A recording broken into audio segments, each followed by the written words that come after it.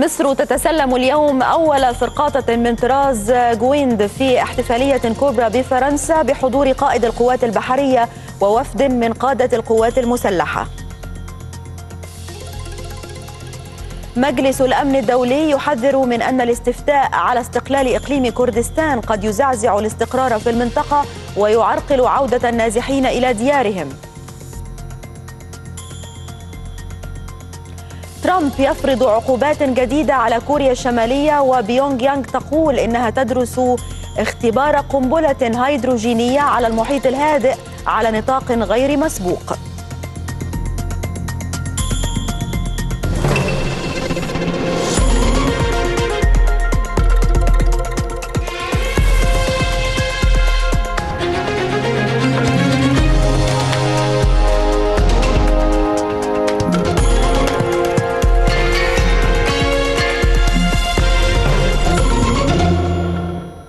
العاشرة صباحا في القاهرة الثامنة بتوقيت غرينتش نشرة إخبارية مفصلة. أهلا بكم. تتسلم القوات المسلحة المصرية اليوم من السلطات الفرنسية الفرقاطة الأولى الفاتح من طراز جويند وذلك في احتفالية كبرى تقام بميناء لوريان الفرنسي وذلك بحضور الفريق أحمد خالد قائد القوات البحرية ووفد من قادة القوات المسلحة.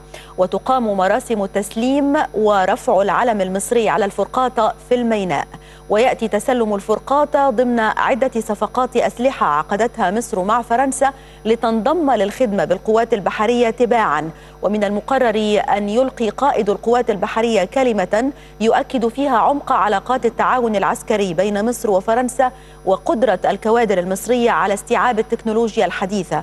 والفرقاطه الفاتح تعد بمثابة إضافة تكنولوجية هائلة لإمكانيات القوات المسلحة البحرية وتدعم قدرتها على حماية الأمن القومي وقادرة على الإبحار لمسافة أربعة ألاف ميل بحري. وتصل إزاحتها الكلية إلى 2540 طن ولها القدرة على تنفيذ جميع المهام القتالية بالبحر ومنها مهمة البحث وتدمير الغواصات واستخدام الصواريخ والمدفعية في المهام القتالية وتنفيذ مهمة تأمين خطوط المواصلات البحرية.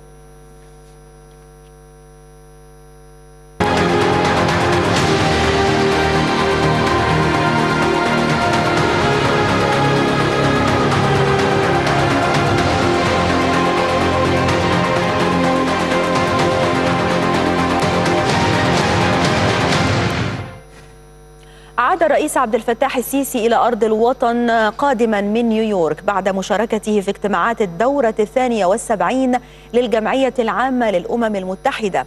وفي ختام زيارته التقى الرئيس السيسي بمقر إقامته في نيويورك برئيس البنك الدولي كيم يونغ كيم حيث أكد الرئيس الاهتمام الذي توليه مصر لعلاقاتها مع البنك باعتباره شريكا هاما لمصر في التنمية. من جانبه أكد رئيس البنك الدولي دعم البنك للإصلاحات الاقتصادية التي تطبقها مصر مشيدا بما أدت إليه هذه الإصلاحات من نتائج إيجابية على صعيد معالجة الاختلالات الهيكلية التي يعاني منها الاقتصاد المصري. قمم ولقاءات مهمة شارك فيها الرئيس عبد الفتاح السيسي خلال زيارته لنيويورك على هامش مشاركته في اجتماعات الدورة الثانية والسبعين للجمعية العامة للأمم المتحدة. فخلال كلمته أمام الجمعية العامة استعرض الرئيس السيسي مجمل أوضاع المجتمع الدولي وكيفية إرساء دعائم السلام والاستقرار في العالم فضلا عن المواقف المصرية إزاء القضايا الإقليمية بمنطقة الشرق الأوسط وجهود مكافحة الإرهاب. إلى الشعب الفلسطيني. وأقول له مهم قوي الاتحاد خلف الهدف وعدم الاختلاف وعدم إضاعة الفرصة والاستعداد لقبول التعايش مع الآخر مع الإسرائيليين في أمان وسلام وتحقيق الاستقرار والأمن للجميع. وأقول وأوجه ندائي للشعب الإسرائيلي. وأقول لدينا في مصر تجربة رائعة وعظيمة. في السلام معكم منذ أكثر من 40 سنة. ويمكن أن نكرر هذه التجربة وهذه الخطوة الرائعة مرة أخرى.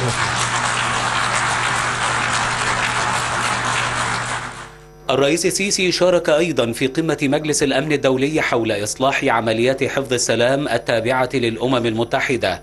وألقى بيانا أمام القمة تضمن استعراضا للجهود المصرية في هذا الصدد.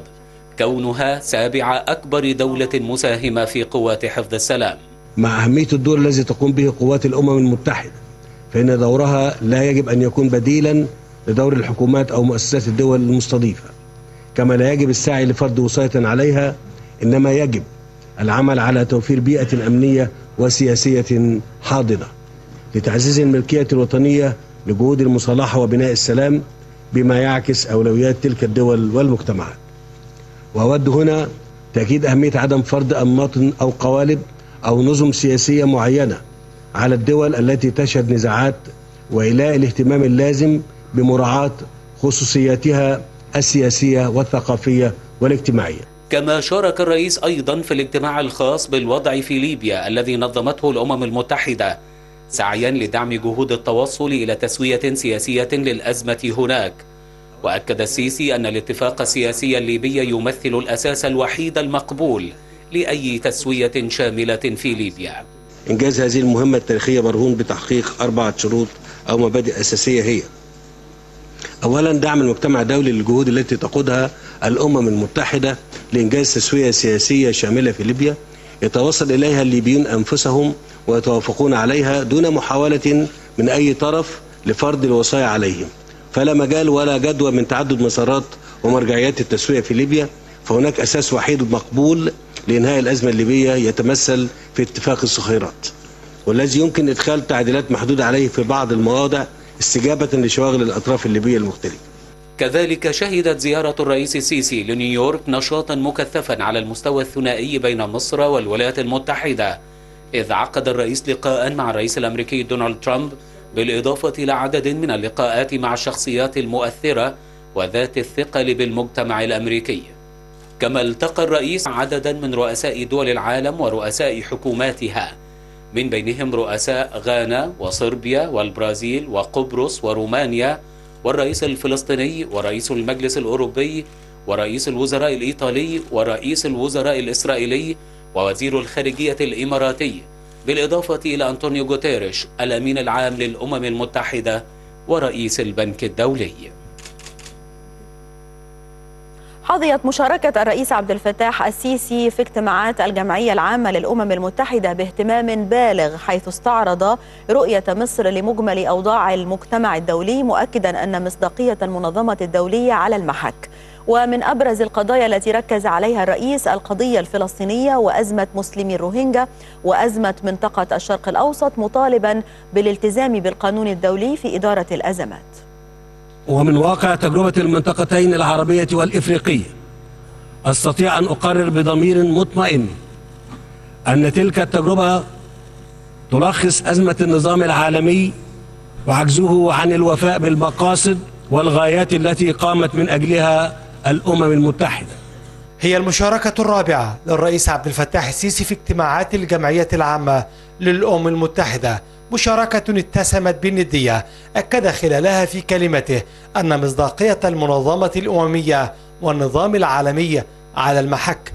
شرح السيد الرئيس كل قضايا المنطقة والعالم بما فيها أو في القلب منها القضية الفلسطينية وركز عليها أنها هي سبب من أسباب الإرهاب الذي يضرب الشرق الأوسط الآن وانتقل إلى العالم الخارجي وانتهى بقضية مسلمي الروهينجا اللي هم يعني مأساة حقيقية وإنسانية وبتعكس بشكل كبير عدم اطلاع هذه المؤسسة الأممية بدورها الحقيقي. وأكد الرئيس السيسي في كلمته أن طريق الإصلاح يمر عبر الدولة الوطنية مشيرا إلى أن هذا هو لب النهج المصري في التعامل مع أزمات المنطقة العربية. سياده الرئيس طرح أهمية دور الدولة الوطنية الحديثة في الحفاظ على الحدود الإقليمية، في الحفاظ على حل النزاعات الموجودة في في المنطقة العربية وخاصة في الدولة الليبية وفي سوريا. ويرى مراقبون أن مصر حققت أهدافها على المستويين السياسي والاقتصادي من خلال هذه المشاركة. الرئيس في أول اجتماعاته هناك في الأمم المتحدة وعلى هامش ال- الجمعية العامه العامة آه، قام بالاجتماع مع قادة الرأي وصناع القرار في أمريكا وهذا لنقل صورة عن آه، وضع مصر الآن سواء سياسيا وأيضا اقتصاديا وهذا سوف آه، يكون دعاية إيجابية لصالح الاستثمار المصري. أيضا آه، كانت الوزيرة صحه نصر آه، تقوم بعدة جولات على مستوى ترويج الاستثمار. ويبرز الإرهاب على رأس الملفات التي تناولتها كلمة الرئيس كما تصدرت مباحثاته الثنائية مع زعماء العالم مع ضرورة المواجهة الشاملة والحاسمة مؤكدا على أن مبدأ الشراكة والتعاون بين دول العالم كافة في التنمية والاقتصاد وإدارة الأزمات من خلال الالتزام بالقانون الدولي والأخلاقيات. مشاركة مصرية مهمة حققت أهدافها أمام المنظمة الدولية. بعدما طرح الرئيس السيسي رؤية واضحة وشاملة لقضايا منطقة الشرق الأوسط والعالم ليضع المجتمع الدولي أمام مسؤولياته في مواجهة خطر الإرهاب الأسود. محمود العزالي النيل. أكد وزير الخارجية سامح شكري في كلمته التي ألقاها خلال الاجتماع الوزاري بشأن مخاطر الأسلحة النووية أنه يجب على أعضاء الأمم المتحدة إجراء مناقشة دقيقة بشأن مخاطر الأسلحة النووية وشدد شكري خلال كلمته على أنه يجب على العالم الالتزام بمبدأ نزع السلاح النووي ومنع انتشارها مؤكدا أن مصر أكدت التزامها بنشر السلام العالمي من خلال تطبيق جميع قرارات مجلس الأمن ذات الصلة. بالرغم من ما تعاني منه منطقة الشرق الأوسط من توتر وعدم استقرار مزمنين فقد أثبتت مصر حسن نواياها وانضمت لمعاهدة عدم انتشار الأسلحة النووية وقامت بتنفيذ كافة التزاماتها وفقا للمعاهدة انطلاقا من إيمانها بالدور المركزي لهذه المعاهدة في تحقيق الأمن الدولي. وقد اتخذنا هذه القرارات لأننا نقدر حياة الإنسان والسلم الدولي ونلتزم بالسعي الدؤوب لتعزيز هدف نزع السلاح وتخليص العالم من هذه الأسلحة. وعلاوة على ذلك فقد قامت مصر دوما بدعم وتنفيذ جميع قرارات مجلس الأمن الرامية إلى معالجة الحالات المتعلقة بانتشار أسلحة الدمار الشامل دون ازدواجية في المعايير فضلا عن مكافحة استخدامها من قبل الأطراف من غير الدول. بحث وزير الخارجية سامح شكري أمس مع إبراهيم غندور وزير خارجية السودان التعاون الشامل الثنائي بين البلدين بالإضافة إلى عدد من القضايا الإقليمية ذات الاهتمام المشترك. وقال المتحدث الرسمي باسم وزارة الخارجية أحمد أبو زيد إن وزير الخارجية أكد خلال الاجتماع على عمق العلاقات الثنائية بين الجانبين وتطلع مصر الدائم لتطوير التعاون الثنائي بما يرقى لمستوى العلاقات التاريخية بين البلدين وتطلعات الشعبين الشقيقين. كما بحث الوزيران ملف مياه النيل وسد النهضة حيث أكد شكري خلال الاجتماع على أهمية متابعة نتائج اجتماعات اللجنة الفنية الثلاثية الأخير بالسودان من أجل ضمان الانتهاء من الدراسات التي تقوم بها المكاتب الاستشارية في أقرب فرصة ممكنة. في سياق متصل أعرب وزير خارجية سامح شكري عن قلق مصر البالغ من الجمود الذي يعتري عمل اللجنة الفنية الثلاثية نتيجة عدم حسم بعض الجوانب الخاصة بالتقرير الاستهلاكي للمكتب الاستشاري بما يؤدي إلى تعطيل البدء في إعداد الدراسات الخاصة بالآثار المحتملة لسد النهضة على دولتي المصب. وخلال لقائه نظيره الإثيوبي على هامش مشاركته في اجتماعات الجمعية العامة للأمم المتحدة أكد شكري ضرورة عقد اجتماع عاجل للجنة الفنية الثلاثية على المستوى الوزاري لحسم تلك النقاط وإطلاق الدراسات في أسرع وقت ممكن التزاما بالإطار الزمني المحدد من قبل اتفاق إعلان المبادئ. من جانبه أكد وزير الخارجية الإثيوبي التزام بلاده الكامل باتفاق المبادئ الثلاثي معتبرا أن الاتفاق يمثل خارطة الطريق للتعاون بين الدول الثلاث كما أكد على تفهمه الكامل لدواعي القلق المصري في هذا الشأن. التقى وزير الخارجية سامح شكري في نيويورك بكل من خميس الجهناوي الجهيناوي وزير الشؤون الخارجية التونسي وعبد القادر مساهل وزير الشؤون الخارجية الجزائري وذلك على هامش مشاركتهم في اجتماعات الجمعية العامة للأمم المتحدة. وبحث الوزراء خلال الاجتماع سبل دعم الحل السياسي في ليبيا في إطار آلية التنسيق الثلاثي بين مصر وتونس والجزائر حول ليبيا. وتتناول وتناول الاجتماع أيضا تبادلا لوجهات النظر والرؤى بشأن جهود دعم التوافق الوطني الليبي ودعم الدور الذي تطلع به الأمم المتحدة في رعاية الحل السياسي للأزمة الليبية. الصليبية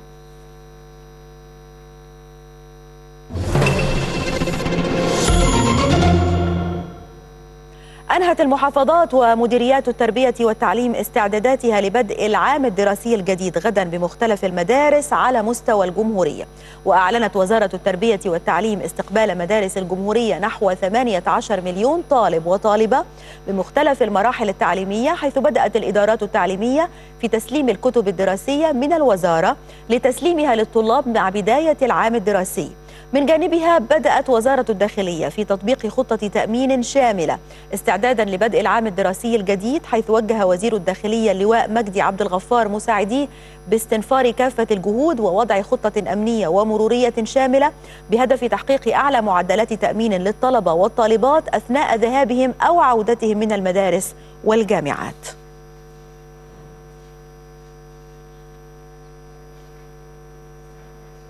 قدم الرئيس عبد الفتاح السيسي خالص التهاني للشعب المصري والأمة الإسلامية بمناسبة قدوم العام الهجري الجديد.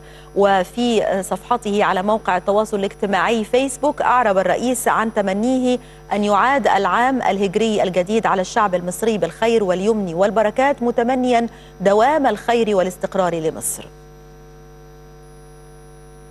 كما تبادل الرئيس عبد الفتاح السيسي برقيات التهنئة مع ملوك ورؤساء وأمراء الدول العربية والإسلامية بمناسبة حلول العام الهجري الجديد. وأعرب الرئيس السيسي في برقياته للزعماء العرب والمسلمين عن أصدق تهانيه بحلول العام الهجري الجديد داعيا المولى عز وجل أن يجعله عام خير وبركة عليهم وعلى شعوبهم وسائر الشعوب العربية والإسلامية. كما بعث الرئيس ببرقية تهنئة بهذه المناسبة الكريمة إلى المسلمين المغتربين كما تلقى برقيات تهنئة بحلول العام الهجري الجديد من كبار رجال الدولة أعربوا فيها عن خالص تهانيهم له وأطيب تمنياتهم لمصر بدوام التقدم والازدهار.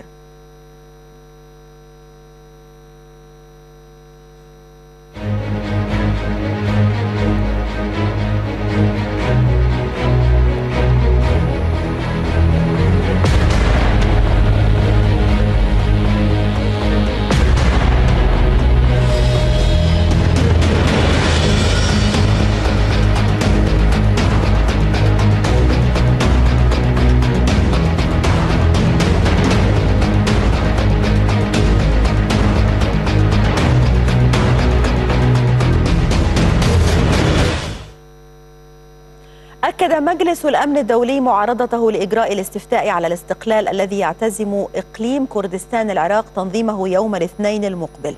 وحذر مجلس الأمن من أن هذه الخطوة الأحادية من شأنها أن تزعزع الاستقرار بالمنطقة مجددا تمسكه بسيادة العراق ووحدته وسلامة أراضيه. وأكد مجلس الأمن أن إجراء الاستفتاء يهدد أيضا بإعاقة الجهود الرامية لضمان عودة طوعية وآمنة لأكثر من ثلاثة ملايين نازح ولاجئ إلى ديارهم.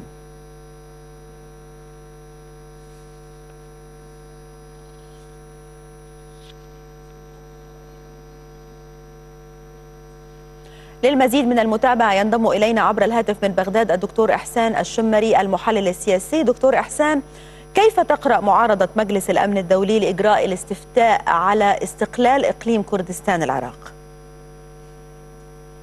هو يأتي في إطار الدعم الذي يقدمه واستكمال لهذا الدعم الذي يقدمه المجتمع الدولي إلى العراق، الذي خاض حربا شرسة ضد الإرهاب المتمثل بداعش وما قبله القاعدة نجح في الحفاظ على وحدة الأرض ومن ثم الانطلاق ببناء الثقه ما بين المكونات المجتمعية ومن ثم لا يسمح المجتمع الدولي بتقديم آه العراق اولا ومن ثم ضياع هذا المنتج الكبير على مستوى داعش، الامر الآخر يؤشر بما لا يقبل الشك بأن النوايا الاقتصاديه لدى البعض آه هي لا تستند إلى مبررات حقيقية وواقعية سيما وأن الكرد أنفسهم يرفضون لكن القضية هي رأي شخصي لزعيم لا يمتلك الشرعية هناك داخل اقليم كردستان وهذا قد يؤدي إلى آه، فوضى عارمه في المنطقة خصوصا وان تركيا وايران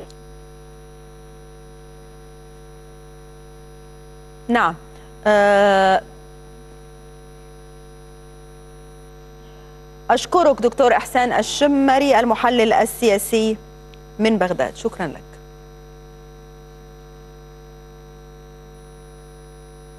في السياق ذاته أعربت مصر عن قلقها البالغ إزاء قرار تنظيم استفتاء تقرير مصير إقليم كردستان العراق وتداعياته المحتملة. وأكد بيان صادر عن وزارة الخارجية أن قلق مصر نابع بالأساس من حرصها على وحدة واستقرار العراق الشقيق واستمرار رابطة الأخوة واللحمة التي تجمع كافة أطياف الشعب العراقي. وشدد البيان على ضرورة إدراك تداعيات بعيدة المدى المتعلقة بإجراء الاستفتاء على استقرار وأمن العراق ومنطقة الشرق الأوسط.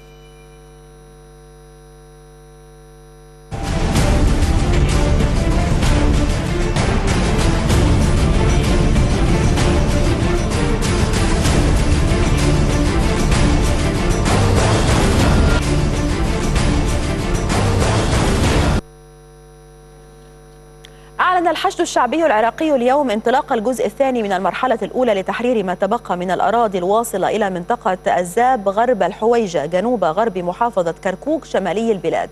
وكانت مصادر عسكرية عراقية قد أعلنت استعادة السيطرة على 11 قرية في الحويجة ضمن المرحلة الأولى من معركة تحرير المدينة الواقعة في محافظة كركوك من قبضة تنظيم داعش وقام التنظيم بأكبر عملية إجلاء لعوائلهم من الحويجة باتجاه حدود محافظتي ديالى وصلاح الدين.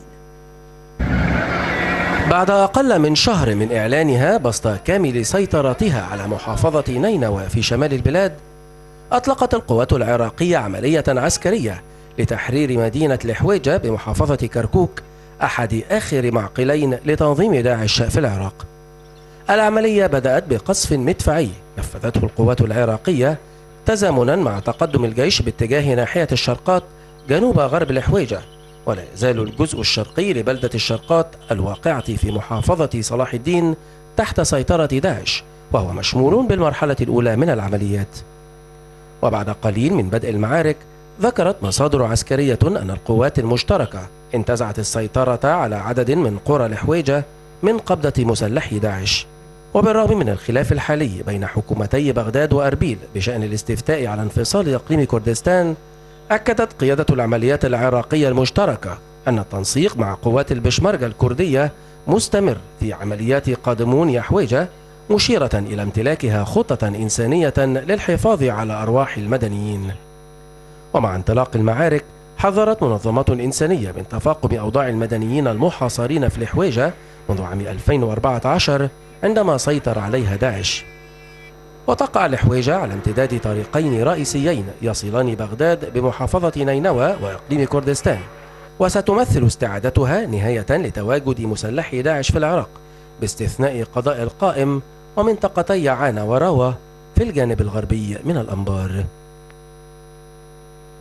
اعتمد مجلس الأمن الدولي بالإجماع مشروع قرار لمحاسبة تنظيم داعش الإرهابي على الجرائم التي ارتكبها في العراق. ومن جهته أكد الوفد المصري الذي شارك في جلسة التصويت ضرورة التنسيق مع الجانب العراقي لضمان احترام سيادة العراق واستقلال نظامه القضائي. Please raise their hand. بالإجماع. اعتمد مجلس الأمن الدولي مشروع قرار لمحاسبة تنظيم داعش الإرهابي على الجرائم التي ارتكبها في العراق بما في ذلك التي قد ترقى إلى مستوى جرائم الحرب والجرائم ضد الإنسانية والإبادة الجماعية. من جهته رحب وزير الخارجية العراقي إبراهيم الجعفري بصدور القرار الأممي معتبرا أنه يعد انتصارا للعدالة الإنسانية وتعبيرا عن الرفض العملي لوحشية تنظيم داعش الإرهابي. ملاحقة مجرمي داعش وعدم إفلاتهم من العدالة سيعطي رسائل رادعة لهؤلاء المجرمين ومطمئنة لشعوبنا جميعا. أننا حين دعونا لاتخاذ قرار في مجلس الأمن الدولي بتجريم داعش ندرك جيدا أنه سيشكل عامل ردع بالغ الأثر ويوجه إنذارا شديدا لممولي هذه العصابة وداعميها فكريا وماليا وإعلاميا. من جانبه حرص الوفد المصري الذي شارك في جلسة التصويت على التنسيق مع الجانب العراقي لضمان احترام سيادة العراق واستقلال نظامه القضائي وتأكد من موافقة العراق على كافة ما يتضمنه القرار من أحكام. ضرورة احترام سيادة العراق واستقلال نظامه القضائي وعلى التأكد من موافقة العراق على كافة ما يتضمنه القرار من أحكام وتفصيلات. إضافة إلى ذلك حرص وفد مصر على التأكد من ضرورة الحصول على موافقة أي دولة أخرى بخلاف العراق قبل شروع الفريق الجديد في اتخاذ أي خطوة أو إجراء تحقيقات تتعلق بمواطنين ينتمون إلى تلك الدولة الأخرى. وتناول القرار جرائم تنظيم داعش باعتبارها جرائم تمثل انتهاكا صارخا لحقوق الإنسان وتهديدا مباشرا للأمن والسلم الدوليين عن طريق الاعتداء الوحشي على الأرواح لا سيما النساء والأطفال بالإضافة إلى تخريب الممتلكات والتراث الحضاري والثقافي للشعوب. على نحو يجعل تلك الأفعال ترقى إلى مستوى الجرائم ضد الإنسانية. قال الجيش السوري إن قواته وسعت من نطاق سيطرتها على الضفة الشرقية لنهر الفرات الذي يعبر محافظة دير الزور. يأتي ذلك بعد قضاء القوات السورية على آخر تجمعات مسلحي داعش في عدة قرى بالمنطقة. كما نفذت وحدات الجيش عمليات ضد داعش بالريف الغربي. وأشارت مصادر المعارضة إلى أن داعش نقل خلال اليومين الماضيين معظم عناصره من أحياء مدينة دير الزور إلى الريف الشرقي.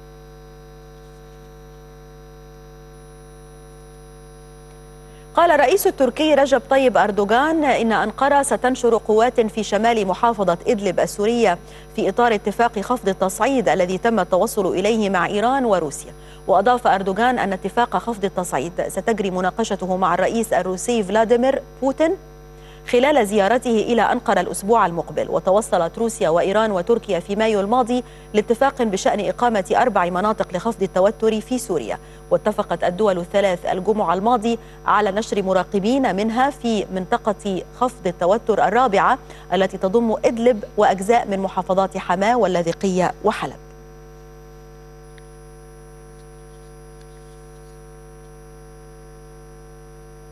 في مدينة الرقة بدأت ميليشيات سوريا الديمقراطية والقوات الخاصة الأمريكية عمليات تمشيط لكامل مدينة الرقة معقل تنظيم داعش في سوريا. وكان مراسل النيل قد أفاد بأن ميليشيات سوريا الديمقراطية المدعومة من واشنطن قد أعلنت سيطرتها على كامل مدينة الرقة في شمال سوريا بعد معارك دامت لنحو أربعة أشهر. ودفعت المعارك في الرقة وريفها عشرات آلاف المدنيين إلى الفرار كما قتل المئات من جراء, جراء غارات التحالف الدولي وآخرون برصاص عناصر التنظيم الإرهابي أثناء محاولتهم الهرب. أعلن وزير خارجية كوريا الشمالية ري يونغ اليوم أن بيونغ يانغ تدرس إجراء اختبار لقنبلة هيدروجينية على المحيط الهادئ على نطاق لم يسبق له مثيل. وتأتي تصريحات وزير الخارجية في نيويورك ردا على سؤال عما كان يعنيه زعيم كوريا الشمالية كيم يونغ أون عندما هدد باتخاذ أعلى مستويات الإجراءات المضادة في التاريخ ضد الولايات المتحدة. كان الزعيم الكوري الشمالي كيم يونغ أون قد نعت الرئيس الأمريكي دونالد ترامب بالمختل عقليا متوعدا بأنه سيجعله يدفع غاليا ثمن التهديدات التي أطلقها من على منبر الأمم المتحدة بتدمير كوريا الشمالية بالكامل.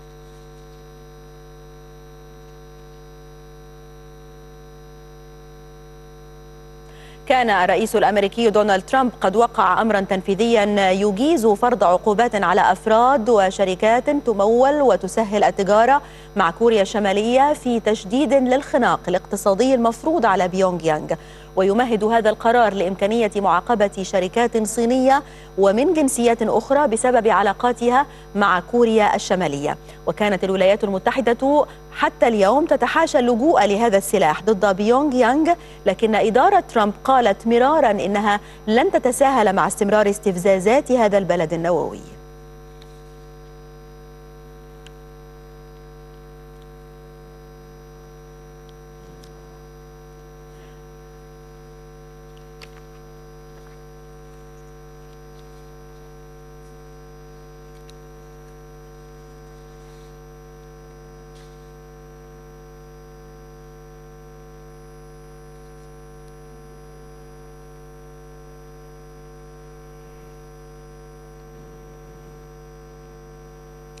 مشاهدينا تتابعون الآن على الهواء مباشرة بثا حيا من فرنسا حيث تتسلم القوات المسلحة المصرية اليوم من السلطات الفرنسية الفرقاطة الأولى الفاتح من طراز جودويند وذلك في احتفالية كبرى تقام بميناء لوريون في فرنسا. بحضور الفريق أحمد خالد قائد القوات البحرية ووفد من قادة القوات المسلحة وتقام مراسم التسليم ورفع العلم المصري على الفرقاطة في الميناء. هذه صور حية تتابعونها الآن على الهواء مباشرة.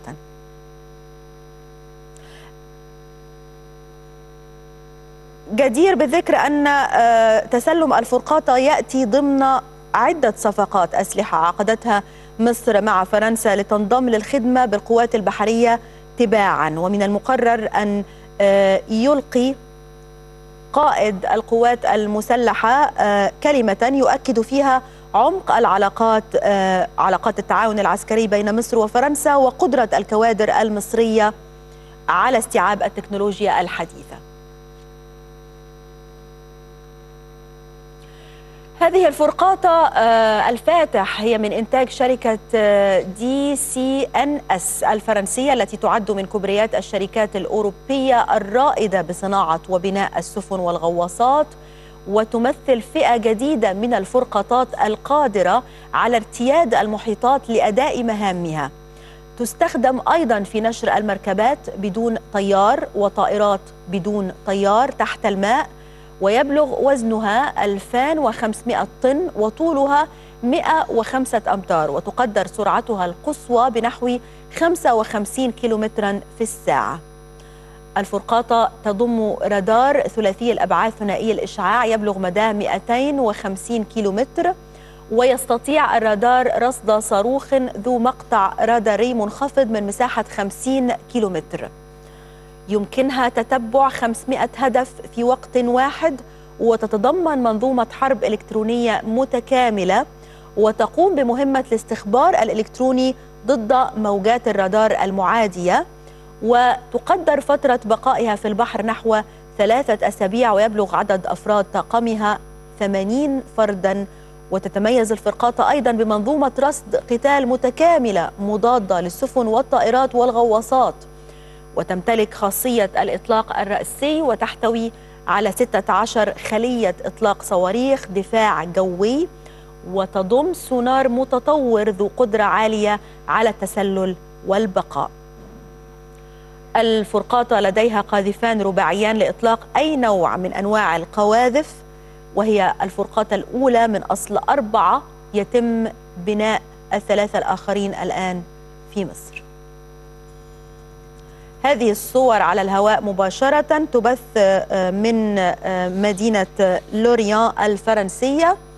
ومن المفترض أن تتم مراسم تسليم مصر الفرقاطة خلال دقائق.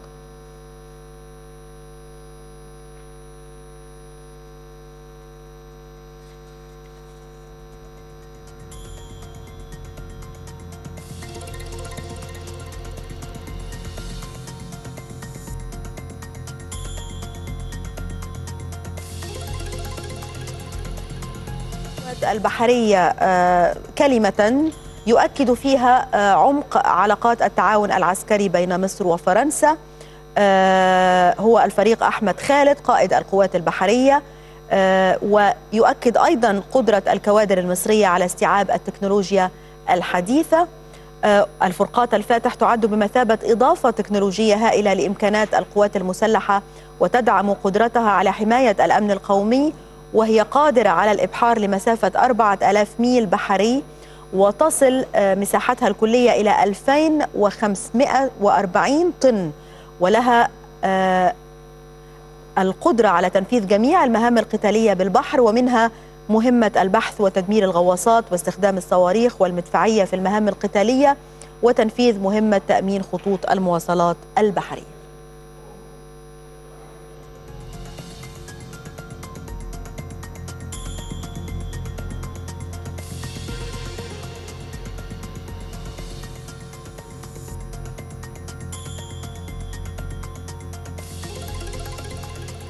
هذه الفرقاطة نذكر مرة أخرى هي من إنتاج شركة DCNS الفرنسية التي تعتبر من كبريات الشركات الأوروبية الرائدة بصناعة وبناء السفن والغواصات. آه، تمثل آه، فئة جديدة من الفرقاطات القادرة على ارتياد المحيطات لأداء مهامها. تستخدم في نشر المركبات بدون طيار وطائرات بدون طيار تحت الماء. يبلغ وزنها 2500 طن وطولها 105 أمتار وتقدر سرعتها القصوى بنحو 55 كيلومترا في الساعة. تضم رادارا ثلاثي الأبعاد ثنائي الإشعاع.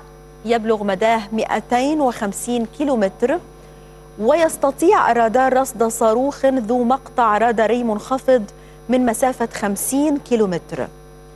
يمكنها تتبع 500 هدف في وقت واحد وتتضمن منظومة حرب إلكترونية متكاملة. تقوم الفرقاطة بمهمة الاستخبار الإلكتروني ضد موجات الرادار المعادية وتقدر فترة بقائها في البحر نحو ثلاثة أسابيع ويبلغ عدد أفراد الطاقم ثمانين فردا. تتميز أيضا الفرقاطة بمنظومة رصد قتال متكاملة مضادة للسفن والطائرات والغواصات وتمتلك خاصية الإطلاق الرأسي وتحتوي على 16 خلية إطلاق صواريخ دفاع جوي وتضم سونار متطور ذو قدرة عالية على التسلل والبقاء ولديها قاذفان رباعيان لإطلاق أي نوع من أنواع القواذف. الفرقاطة الأولى هذه الفرقاطة هي الأولى من أصل أربعة أخرى يتم آه، بناء الثلاثة الآخرين في مصر.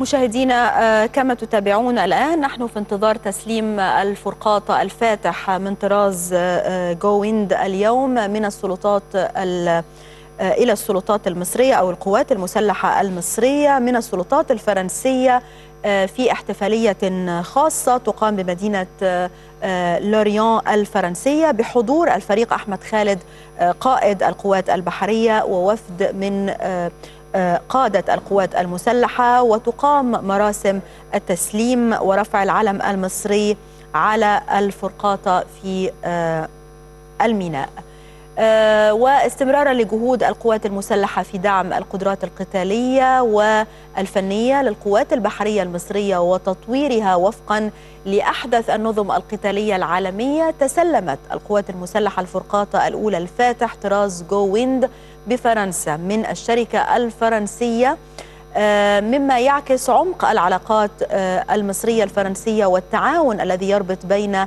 البحريتين المصرية والفرنسية وجهود القيادة السياسية ودعمها الجاد والقوي لدفع العلاقات بين البلدين الصديقين في العديد من المجالات.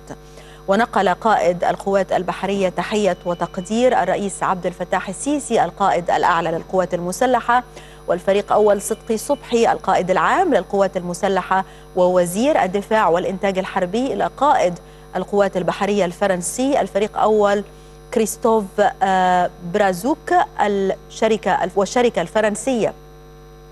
وأيضا آه، شكره على دعم برنامج الفرقاطات المصري والذي آه، توج بتسلم مصر أول فرقاطة من طراز جو ويند وهي الفرقاطة الأولى من ضمن أربع فرقاطات تم التعاقد عليها على أن يتم بناء فرقاطة بفرنسا وثلاث فرقاطات بشركة ترسانة الإسكندرية. وبالسواعد والعقول المصرية. هذه الفرقاطة آه، من إنتاج شركة دي سي إن إس الفرنسية. تعتبر آه، إحدى الشركات الرائدة في أوروبا في صناعة آه، الفرقاطات وصناعة وبناء السفن والغواصات. تمثل فئة جديدة من السفن القادرة على ارتياد المحيطات لأداء مهامها. تستخدم في نشر المركبات بدون طيار. وطائرات بدون طيار تحت الماء. يبلغ وزنها 2500 طن وطولها 105 أمتار وتقدر سرعتها القصوى بنحو 55 كيلومترا في الساعة. وتضم رادار ثلاثي الأبعاد ثنائي الإشعاع. يبلغ مداه 250 كيلومتر. ويستطيع الرادار رصد صاروخ ذو مقطع راداري منخفض من مسافة 50 كيلومتر. يمكنها تتبع 500 هدف في وقت واحد وتتضمن منظومة حرب إلكترونية متكاملة آه، وتتكون من نظام خاص للدعم الإلكتروني وتقوم بمهمة الاستخبار الإلكتروني ضد موجات الرادار المعادية وتقدر آه، فترة بقائها في البحر نحو ثلاثة أسابيع ويبلغ عدد طاقمها طاقمها 80 فردا وتتميز بمنظومة رصد قتال متكاملة مضادة للسفن والطائرات والغواصات. وتمتلك خاصية الإطلاق الرأسي وتحتوي على 16 خلية إطلاق صواريخ دفاع جوي.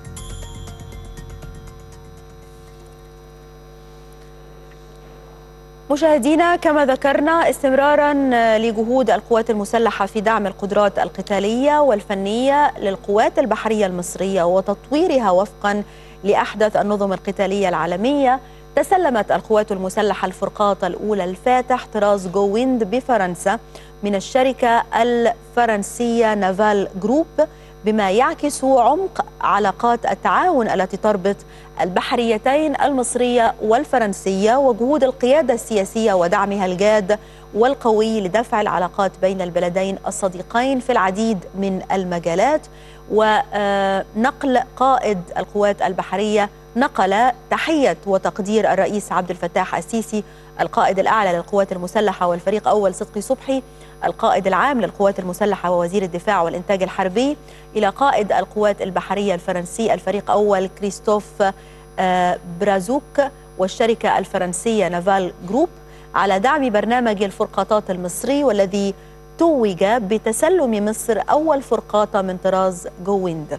وهي الفرقاطة الأولى ضمن أربع فرقاطات تم التعاقد عليها على أن يتم بناء فرقاطة بفرنسا وثلاث فرقاطات بشركة ترسانة الإسكندرية وبالسواعد والعقول المصرية.